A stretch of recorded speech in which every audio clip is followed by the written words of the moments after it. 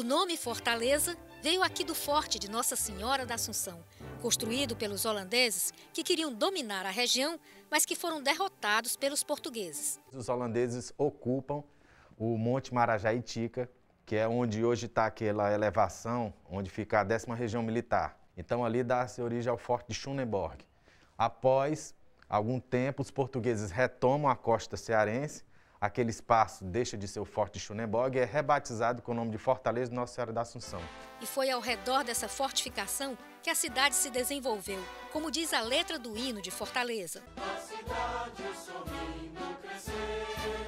Quando é instalada a vila da Fortaleza Nossa Senhora da Assunção, então temos a origem da cidade de Fortaleza, que é um pequeno povoado, um pequeno núcleo com expressão apenas no forte, a antiga casa de e cadeia que não existe mais, o Pelourinho, que ficaria mais ou menos onde hoje tem aquela estátua do Pedro II, e a casa do Capitão Mor, que é onde hoje fica o Palácio da Luz, né? a Academia Cearense de Letras hoje. Fortaleza era muito tímida. Ela só vai ter uma expressão maior no século XIX, quando é instalado um pequeno mole de embarque e desembarque, onde hoje é mais ou menos o Porto da Draga. E ali passou a escoar o algodão. Foi assim que a Vila Menina foi virando uma jovem cidade, que hoje é uma bela mulher metropolitana de 296 anos. E como é bom em datas festivas abrir o álbum de fotografias e recordar essa história. A coluna da hora batendo no coração da cidade viu esse tempo passar, com o surgimento de seus cinemas, farmácias, comércio, hotéis. Virando as páginas do álbum, encontramos a Praia do Peixe, hoje Praia de Iracema, principal cartão postal da cidade. E a Praça dos Mártires, onde heróis revolucionários foram fuzilados. Vocês reconhecem? Sim, é o atual passeio público. Felizmente, alguns locais dessas fotos permanecem preservados. Fortaleza não pode perder o trem da história. É preciso preservar as contribuições do passado.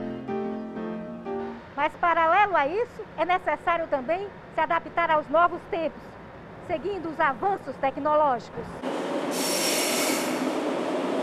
O metrô tornou a vida dos habitantes da cidade mais confortável. O metrô já é mais rápido, uma facilidade melhor, né? E com o crescimento da população, vieram as adaptações. Seja em mobilidade urbana, centro de eventos, porto e aeroporto, estádios, centros culturais e até ao transformar o que era estação de trem em estação cultural. Como toda metrópole, Fortaleza tem seus problemas, mas também busca soluções com a determinação de seus habitantes. É uma cidade muito boa, bem estruturada. Estou com mais de 30 anos que moro aqui, é bom demais. Estava ouvindo que é a nona cidade mais rica do Brasil. É uma boa cidade.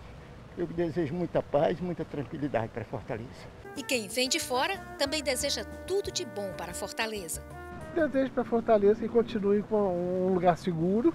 Gostei muito de vir, gostei da Praia do Meirelles, gostei da segurança, do calçadão, de passear ali. Que a população viva em paz e que tenha saúde o suficiente para desfrutar disso tudo aqui.